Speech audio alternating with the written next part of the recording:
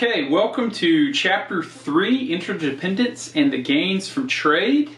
I'm going to be working largely from Chapter 3, Figure 1 in this video. This will be a two video sequence where we look at a scenario um, before trade and after trade and how trade can make everyone better off. So um, here's the scenario. We have Frank the farmer and Ruby the rancher, and let's assume they're just living you know, out in the wilderness, wilderness during um, pioneer times, and um, the way they are compensated, uh, the way they survive, is calories. Uh, so their calories are how they survive. That's their currency. It's everything to them. And speaking to um, a principle that uh, the economic principle that the more productive you are, the higher your standard of living. The ounces of meat and the ounces of potatoes that you produce is what you consume, and that determines your standard of living. So um, Frank and Ruby are not trading, at least not in this exercise. Uh, check the next video for, for when they do. Um, but because our standard of living is so defined by our productivity, let's start there. How productive um, is Frank the farmer and Ruby the rancher. So they're producing two things, meat and potatoes. And we start with their minutes needed to make one ounce because ounces of meat and potatoes is their compensation package, if you will. Uh, calories is all about survival and um, basically how they pay themselves. They survive. Um, let's start with Frank. It takes him 60 minutes to make one ounce of meat. It takes him 15 minutes to make one ounce of potatoes. And I don't know why I'm saying potatoes that way. Potatoes? I don't know. Whatever. Um, Ruby, it takes her 20 minutes to make an ounce of meat. And we notice then that, that Frank is a little slower at making meat. So Ruby has an advantage here. That's called absolute advantage.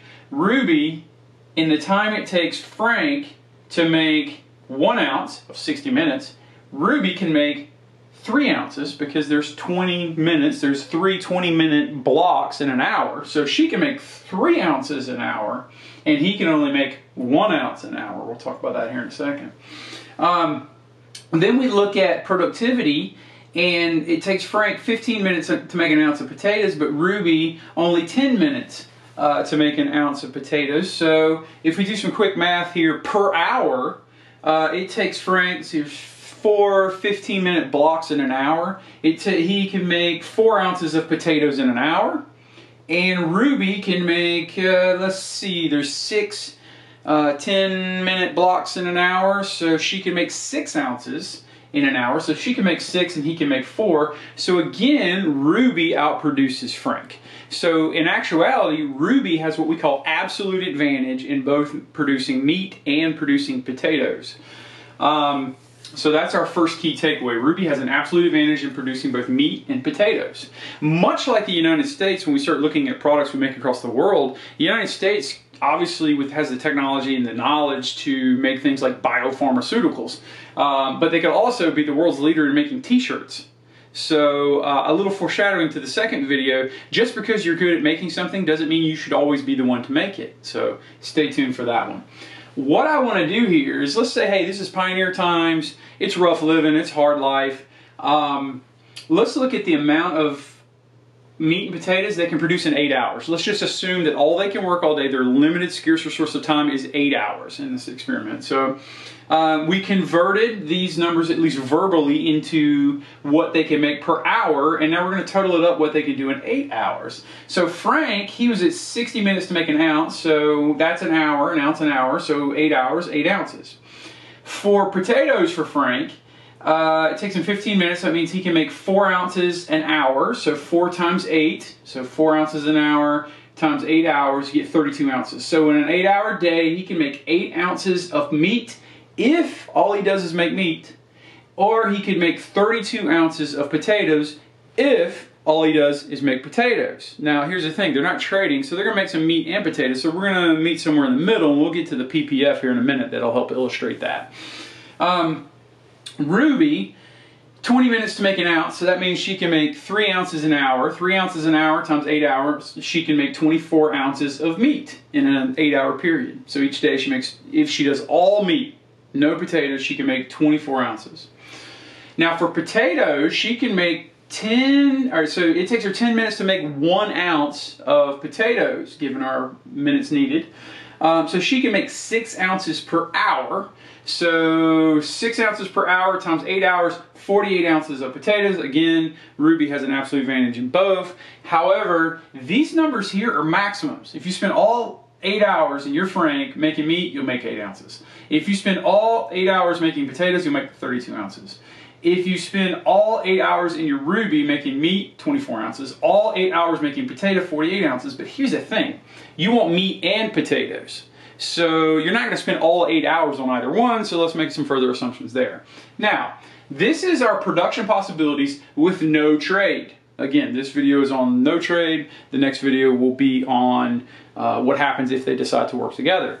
Um, we got Frank and Ruby in our PPFs. Remember, Production Possibilities Frontier. Okay, we cover that last last class in chapter two.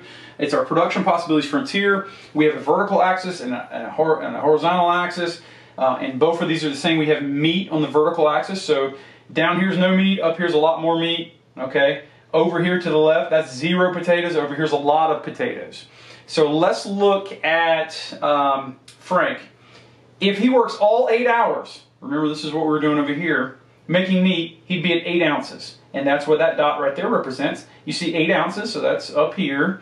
And that's zero potatoes because we're right here on the horizontal. Now, if he made all potatoes for eight ounces, he can make 32 ounces, which checks out with our calculations over here. Okay, so 32 ounces if he goes all eight hours on potatoes. But we know Frank is going to want some meat and potatoes. So let's assume he divides his time evenly and works four hours on meat, four hours on potatoes, and he meets in the middle. So if you divide 8 in half, you got 4. And you divide 32 in half, you got 16. So if he spends 4 hours on meat, he'll get 4 ounces a day. If he spends 4 hours on potatoes, he'll get 16 ounces per day. So going instead of going 8 hours on one and none on the other, he goes 4 and 4 and he ends up with 4 ounces of meat, 16 ounces of potatoes. Now, let's look at Ruby with her PPF. Same thing, we got meat on the vertical axis. We've got potatoes on the uh, horizontal axis. I feel like a weatherman here, this is awesome. Um, if she goes all meat, this is 24 ounces of meat, but that is zero potatoes. Now, if she goes all potatoes, but zero meat, okay, so that's if, you, if you're on this line right here, you're at zero meat and all this potatoes, you got 48 ounces of potatoes if you go all in on eight hours of potatoes. All right, chances are she's going to split her time between the two. Again, they're not trading yet. Let's say she spends four hours on meat, four hours on, on potatoes, and you cut this in half because you're no longer spending eight hours. You cut it in half, you're spending uh, four hours, so you get 12 ounces of meat. Okay, 24 divided by 2 because 8 divided by 2 is 4. 12 ounces of meat and cut the 48 in half because you're going to spend 4 hours, not 8 hours, 24 ounces of potatoes. So if she divides her time evenly, she gets 12 ounces of meat, 24 ounces of potatoes. Okay, there I go again with the potato. Um, so again, what are our key takeaways pre-trade? So without trade. Well, all right, so they're they're making meat and potatoes, and they're getting some calories, they're getting some sustenance, uh, they're being compensated for their time, and we know how productive they can be now. That's great. We do know that Ruby has an absolute advantage producing both meat and potatoes. She's just better at producing meat and potatoes. Um, just like one country might be better than another in producing a whole plethora of products. Usually the United States, like I say, we, we could we could lead the world in biopharmaceuticals and t-shirts if we wanted to. Should we maybe shift some of those scarce economic resources maybe towards things like technology and biopharmaceuticals and let other places make t-shirts? Because the United States, the cost of what you get is what you give up. If you're producing biopharmaceuticals, you're giving up producing t-shirts, that's not a high opportunity cost. But if you could produce biopharmaceuticals and you decide instead to make t-shirts, you're giving every t-shirt you make, you're giving up maybe life-saving medicine. So that's a pretty high opportunity cost. You have to start thinking about things that way as an extension from chapter two, thinking like an economist. Um, there is a cost associated with what you do not produce. So before trade, and assuming they split their time evenly, sorry, my, my perfectly economist handwriting here. We're just terrible uh, handwriters. Before trade, and I have terrible handwriting that is. Before trade, and assuming they split their time evenly, Ruby consumes 12 ounces of meat, 24 ounces of potatoes. Boom. Frank consumes 4 ounces of meat and 16 ounces of potatoes. Boom. Okay.